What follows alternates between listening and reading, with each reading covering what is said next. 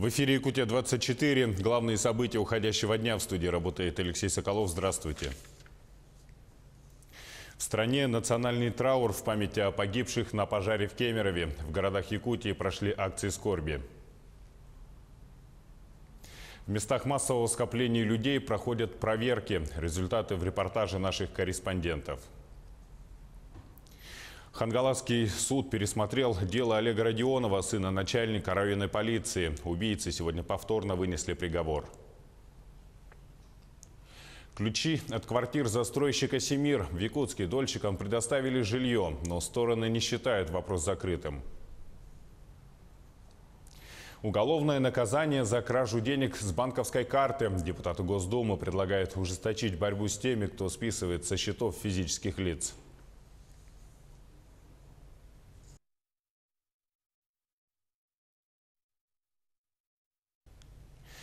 В России сегодня национальный траур в памяти о погибших при пожаре в Кемерове. Огонь унес жизни 64 человек. Самое страшное – в списке погибших 41 ребенок. Тяжелые часы для родных погибших. Сейчас проходит процедура опознания тел. Воскресный день для многих россиян поделился на до пожара в Зимней Вишне и после. Акции скорби проходят во всех городах страны. Неравнодушны к трагедии якутяне. Алдан, Ленск, Мирный, Нерюнгри, Якутск и другие районы республики присоединились к акции «Кемерово. Мы с вами».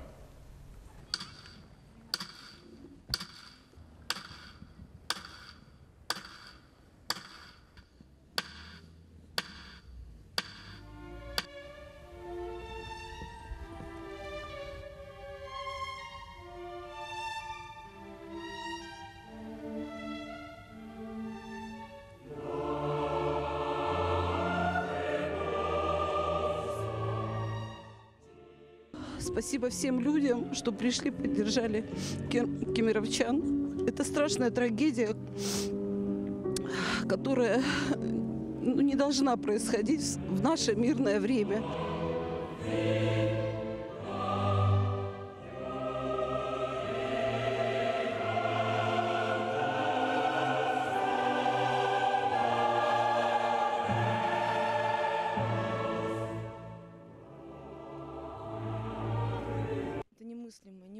Немыслимая страшная трагедия.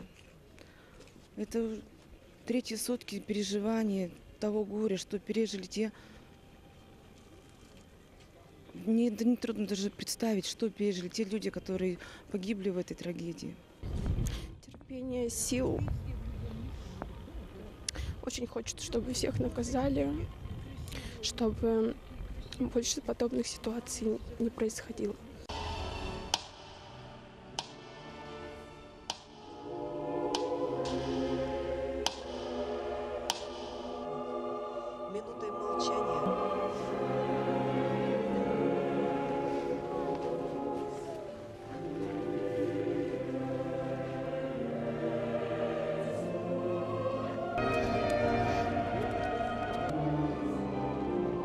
Нужно навести порядок во, всё- во всей России, чтобы проверили все центры, чтобы не было повтора вот такой трагедии. Это просто невыносимо смотреть и слышать эту боль. Это огромная трагедия не только для Кемерово, но и для всей России.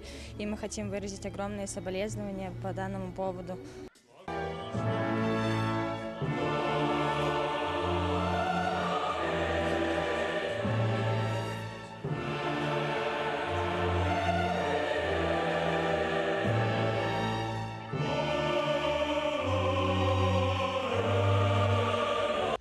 все скорбим, и, конечно, это очень страшно. Это, это в первую очередь это дети.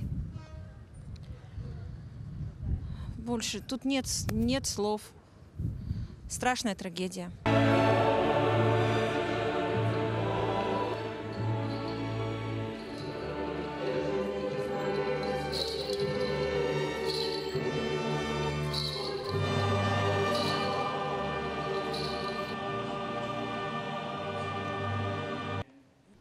Тяжелейшая трагедия.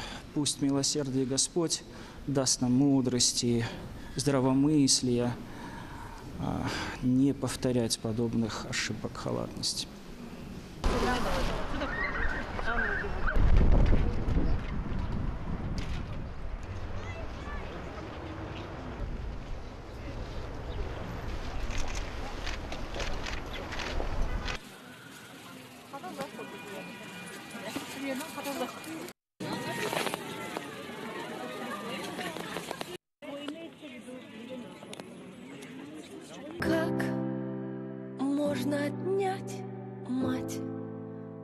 Ребенка, которому пять лет. Мирнинские автомобилисты почтили память погибших детей и взрослых в Кемерове. Водители собрались на фабрике номер 3 компании «Алроса» и в 19.00 сегодня одновременно нажали на звуковой сигнал. Об акции объявили сегодня в социальных сетях. Несмотря на это, в назначенное место приехали два десятка автомобилистов.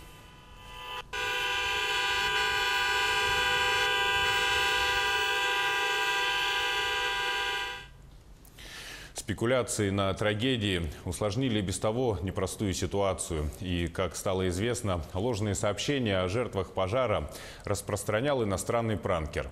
Об этом сообщила официальный представитель Следственного комитета Светлана Петренко. По ее словам, некто Евгений Вольнов звонил в медучреждения и органы власти и распространял фейк о сотнях погибших для дестабилизации ситуации в регионе.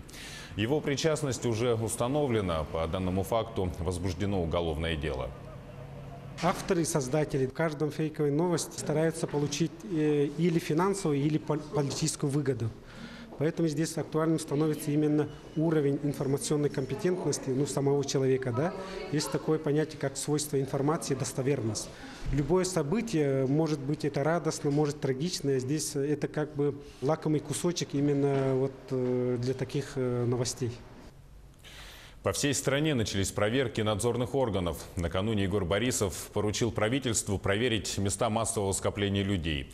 Смогут ли посетители вовремя эвакуироваться и нормально ли работает сигнал тревоги? Рейды торговых и развлекательных центрах Якутска уже показали, что с пожарной безопасностью не все в порядке, рассказывает Николай Борисов. После трагических событий в Кемерово надзорные органы проверяют все торговые центры и развлекательные заведения, куда ходят дети.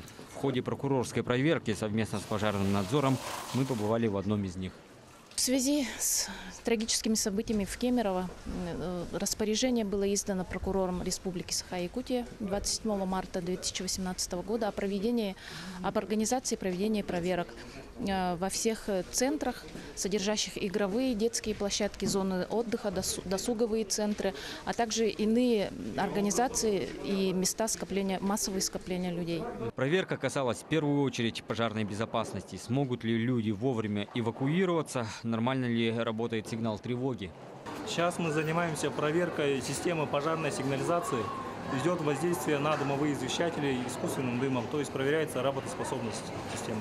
Вот здесь находится искусственный дым, воздействуем при помощи него на извещатель, и уже проверяется сработка, идет сигнал на пульт управления или нет, и дальше замеряется уровень соответствия звукового оповещения на эвакуацию. Однако мы задались вопросом, что думают сами посетители о произошедшем. Боятся ли они повторения истории с зимней вишней или уверены, что в Якутске такое произойти просто не может? Конечно, страшно. Смотрю за детьми, никуда их не, не оставляю одних. И с ними обговорили, вот по WhatsApp тоже было, как вести себя в случае пожара. Это мы детьми обговорили, следовало подошли судя по событиям, да, то, что там пожар был, обвалились перекрытия, это, скорее всего, неправильно конструктив здания, то есть это вина не только как бы, ну, человеческий фактор, получается неправильно создано, ну, изначально конструктивно неправильно сделано здание. А здесь у нас так здание не строят. Я знаю, я сама как бы по специальности архитектор, знаю наши свойства нашего климата, да, и вообще у нас очень хорошо строят здания, монолитно-каркасные. И по технике безопасности все-таки как бы, ну, правила очень довольно-таки строгие, да. Как мы выяснили в ходе рейда, даже в будние дни детские развлекательные центры полны посетителей.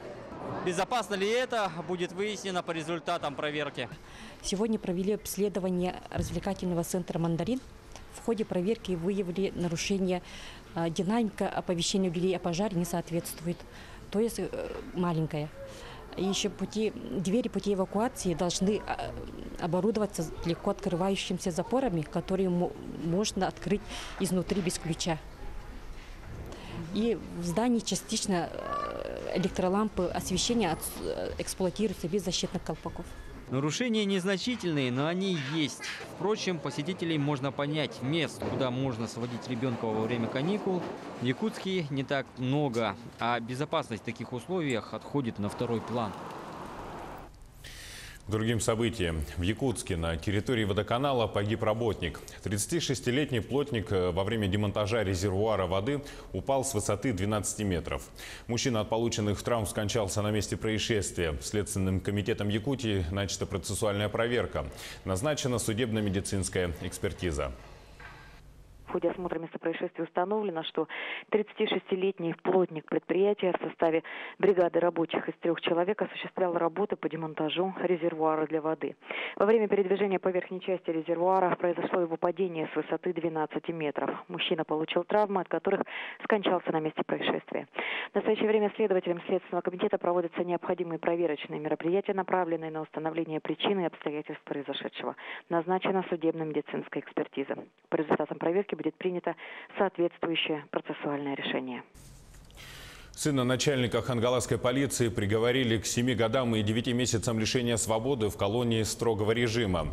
Вердикт вынесла судья Зоя Копырина. Как ранее сообщалось, дело Олега Родионова Верховный суд вернул на пересмотр.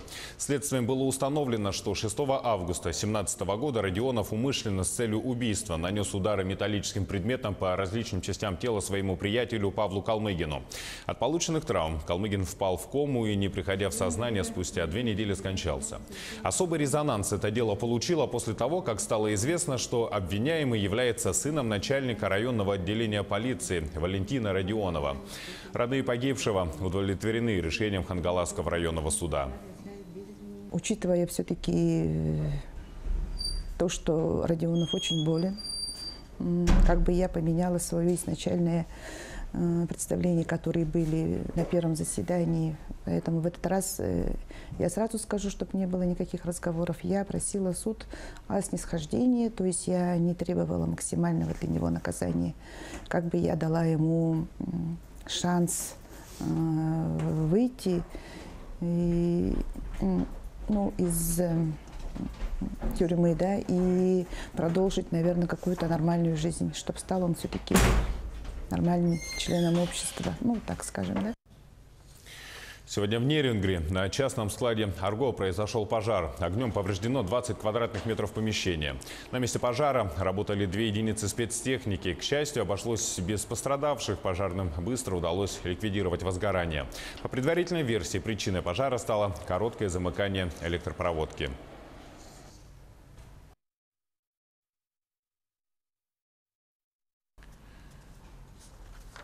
Минфин подтвердил планы ввести новый режим налогообложения для индивидуальных предпринимателей и самозанятых. Об этом заявил глава Минфина Антон Силуанов на коллегии ведомства. Налоги с них будут взиматься автоматически в онлайн-режиме с использованием мобильного приложения. На, этом, э, на новом этапе самозанятые перейдут к уплате определенного процента по каждому факту оказания услуги и совершения платежной операции. Механизм сводит к нулю издержки налоговую отчетность. Подготовленные Минфином поправки приведут к росту инвестиционных возможностей предприятий на 1% ВВП. До 6 лет лишения свободы можно будет получить за хищение с банковского счета или воровство электронных денег. Законопроект об этом принят во втором чтении. Теперь кража с банковских карт квалифицируют как мошенничество. По словам главы Комитета Госдумы по финансовому рынку Анатолия Аксакова, сейчас многие злоумышленники списывают деньги со счетов небольшими суммами. За это грозит административное наказание. Но общая сумма хищения может быть солидной. В связи с этим депутаты и решили ужесточить наказание и сделать его уголовным. Отмечу, что за прошлый год со счетов граждан таким способом, способом было украдено 2 миллиарда рублей. В Якутске дольщикам долгостроя компании «Семир» выдали ключи. Этих квадратных метров э, владельцы ждали три года, однако радости долгожданные квартиры своим хозяевам не принесли. В причинах разбирался Александр Лысак. 160 квартир должны были обрести хозяев еще три года назад. Строительство жилого дома по улице Чайковского началось в 2014-м. Через год компания-застройщик «Семир» обязалась его сдать. Оплата по договорам долевого участия была произведена в полном объеме и в срок. Но ключей люди так и не дождались. Дольщики решили бороться за свои квадраты. Мы, инициативная группа, Поговорив с дольщиками, опубликовали открытое письмо, и нам повезло, что в это время был здесь Трутнев, господин Трутнев. Он прочитал наше открытое письмо, и только из-за этого есть какие-то движения. Но мне кажется, движения тоже такие для галочки. Фактически работы не завершены. Жить невозможно. У меня, например, ремонт, я там жить не могу, потому что воды не будет в квартире. Казалось бы, долгожданный миг настал. Ключи на руках у дольщиков. Но радость была недолгой. Вода, вот, смотрите, вон. Тут еще вода. Тут видите, вон, как, как можно воду включать, посмотрите, вон. Квартира, конечно же, вообще не то, что не готова, она в очень плачевном состоянии. Значит, ничего не убрано, ничего не готово, везде дырки, значит, все в таком виде, значит, где должна быть ванна с туалетом совмещенная, там вообще неизвестно, что там находится, там какой-то потоп был воды. В общем, очень много претензий, конечно. У застройщика «Семир», не считая жилого дома на Чайковского, есть еще три недостроенных объекта. Сумма кредитных обязательств составляет миллиард рублей. В феврале по факту нецелевого расходования средств по всем зданиям Следственное управление МВД Якутии возбудило уголовное дело. Вода Немножко подождите. Вот по... Чего ждать-то уже? Воду, воду, воду. Ситуацию под контроль взяли республиканские власти. Заканчивать работу недобросовестного застройщика будет строительная компания «Адгезия». Ей поручили устранить все недочеты. В среду мы встречаемся, договорились с жильцами повторно определиться с графиками работ и с объемами графиками работ, которые будут выполняться. В 6 часов будет запущена вода. Мы это проверим. Завтра начинается подача документов на регистрацию права собственности, как мы это планировали. Выдача ключей, согласно значит, поручению Егора Фанасьевича, были готовность выдачи, и часть ключей выдана была вчера. В Министерстве строительства республики дольщикам пообещали контролировать работу застройщика и помочь в подключении к ресурсоснабжающим предприятиям. Сегодня введен в эксплуатацию, официально получено разрешение на ввод в эксплуатацию, подписанное мере города Якутска. Объект введен в эксплуатацию, но там, естественно, есть недоработки, по которым имеются гарантийные письма. И эти недоработки будут в течение одного месяца дорабатывать. Обустройством двора, детской площадки, парковки Минстрой займется летом. К осени дом будет, наконец, полностью готов. Александр Лысак, Кристина Якупова, Павел Пахомов, Григорий Хлопков, Якутск. Продолжается работа по газификации населенных пунктов республики. На эти работы из средств компании «Рик Плюс» предусмотрено 4 миллиарда рублей. На сегодняшний день фактически профинансировано свыше 3 миллиардов 300 миллионов рублей. Так проложен магистральный газопровод «Майя», «Табага», и «Тыккёль». Кроме того, реконструирован подводный газопровод через реку. Также ведутся активные работы по направлению Кирилях, Асыма, Бердигестях. Газу подключены жители села Асыма в Намцах проложили запас запасной газопровод. Основные э, объекты – это магистральный газопровод Майя Табага Чурапчатыккёль, э, который э, до, э, введен в 2016 году э, до Чурапчи, а также э, магистральный газопровод э, Керелях, Ахма, Бердигестях, э, введенный в 2017 году э, до поселка Асма – Продолжается строительство а, и газификация внутрипоселковых сетей, а, таких поселках, как Чурапча, Бердигестях, а, а также внутрипоселковые сети строятся в Тумуле, Сегодня в столице Якутии началось совещание Совета по местному самоуправлению. Егор Борисов начал собрание с минуты молчания в памяти о погибших при пожаре в Кемерове. Далее Егор Борисов рассказал главам муниципальных образований и городских округов о кадровых назначениях в руководстве республики. Представил Афанасия Владимирова как руководителя Департамента внутренней политики и нового министра промышленности и геологии Максима Терещенко. На повестке совещания участники рассмотрели три вопроса по полномочиям в градостроительстве, по задачам районов по году волонтера и подготовке э, к пожароопасному сезону. Руководитель региона отметил, что в республике стоит главная задача по реализации послания президента страны Владимира Путина есть какие-то самые наболевшие вопросы в каждом районе. Вот у нас, например, это три проблемы. Это нельзя сокращать ни, ни одно рабочее место. Это развивать транспортную структуру и усилить работу по насыщению интернет-трафика, потому что у нас это не выдерживает никакой критики, там, где нет оптового окна.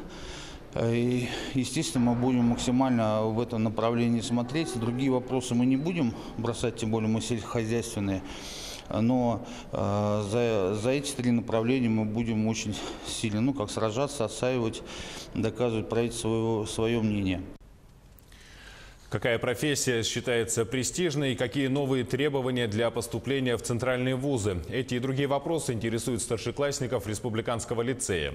Сегодня они встретились с преподавателями Санкт-Петербургского и Иркутского университетов. Стоит отметить, что в этом году запланировано около 400 мест на целевое обучение в центральные вузы. У ребят, которые получат высокие баллы в предметной олимпиаде, есть возможность сразу стать студентом. В этом году олимпиада проходила дистанционно. Участниками стали тысячи 600 школьников.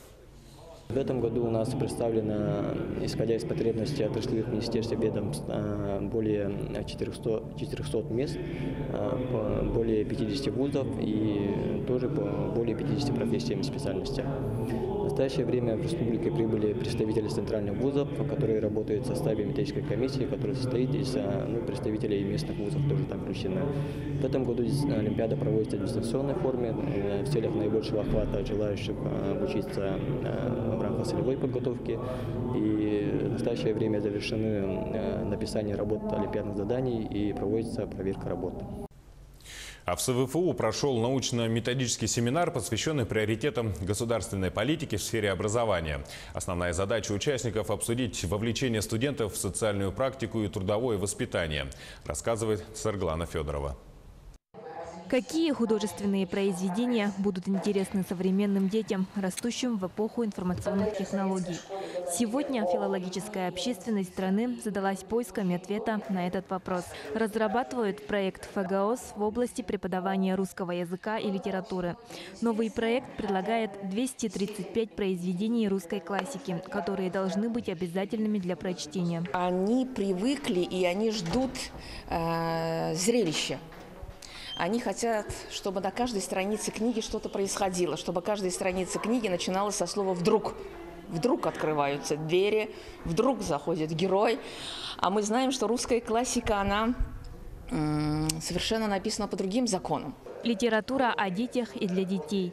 Одна из сторон филологической общественности полагает, что в списках должны быть произведения, в которых главный герой – ребенок. Но и они согласны, что совсем отказываться от русской классики нельзя. Дети хотят читать о таких, как они сами.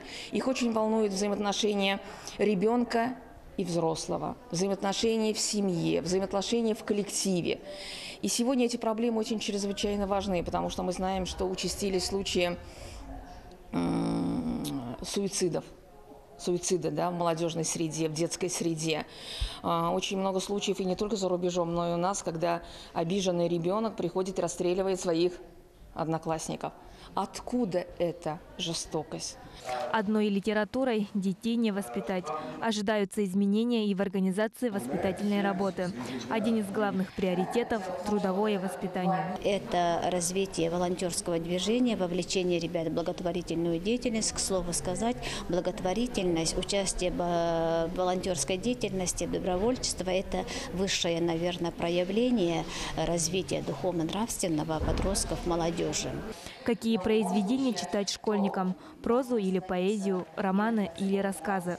И какая проблематика будет точно интересна детям? После обсуждения всех предложений проект подпишут в мае текущего года. Саргалана Федорова, Илья Сырометников, Якутск. За прошедшую неделю в республике отмечается снижение заболеваемости гриппом и ОРВИ. Его наблюдают э, во всех возрастных группах, особенно среди детей с 7 до 14 лет. В республике зарегистрировано почти 9 тысяч случаев заболеваний. Из числа ОРВИ более 84% приходится на детей до 14 лет. Среди наиболь, э, наибольшее количество составляют дети, посещающие дошкольные образовательные учреждения от 3 до 6 лет. А, несмотря на потепление, специалисты рекомендуют соблюдать меры предосторожности, укреплять иммунитет и одеваться по погоде. Ситуация остается на контроле управления Роспотребнадзора. Здание Центральной Усть-Майской районной больницы а, дало трещину. Объект эксплуатируется 15 лет и нуждается в ремонте. Подробности в материале Юрия Таюрского.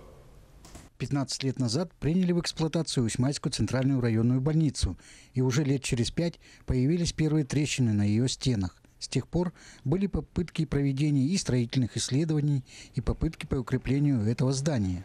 Хотя укрепительные работы до этого проводились, но они проводились не в полном объеме, так как федеральные средства, на которые мы надеялись, были секвестированы в свое время. Вот, и мы только за счет республиканских средств это укрепление делали. А, все мы понимаем, что денег лишних в здравоохранении нет, что сегодня есть масса других приоритетов, но тем не менее центральная районная больница целого района должна выглядеть и находиться в надлежащем облике.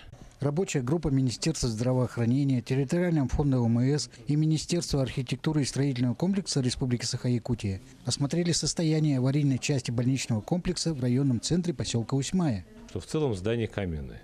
Оно существует, оно построено не так давно, да, а часть этого здания находится в неплохом техническом состоянии, но есть э, крыло, которое вот, очень серьезные трещины, да, которые требуют проведения строительного исследования. Поэтому сегодня мы инициировали рабочее совещание, пригласили ответственных э, значит, людей с министерств ведомств, которые могут этот вопрос решить. Несущие грунты основания такого большого здания несут ту нагрузку, которая имеется. Кроме этого, эти грунты субпесчаные, суглинистые, обводненные, поэтому может быть сила выкручивания свай. Все это и привело к появлению трещин на корпусе больницы. Поэтому теперь вот строительные исследования проведем. Для этого мы выделим деньги из республиканского бюджета. И после этого а, будем заказывать новый проект по укреплению вот той части здания, ну и в целом всего здания, и уже его ремонтировать. Юрий Таюрский, поселок Усьмая. В Мирнинском районе стартовала информационная декада по вопросам оказания платных ветеринарных услуг. Управление ветеринарии района пригласили товаропроизводителей, общественные организации, трудовые коллективы и другие объединения граждан. На все вопросы совершенно бесплатно э, будут предоставлены развернутые ответы и консультации специалистов. Наиболее часто задаваемые вопросы – это вопросы о платных ветеринарных услугах для производителей молока и мяса.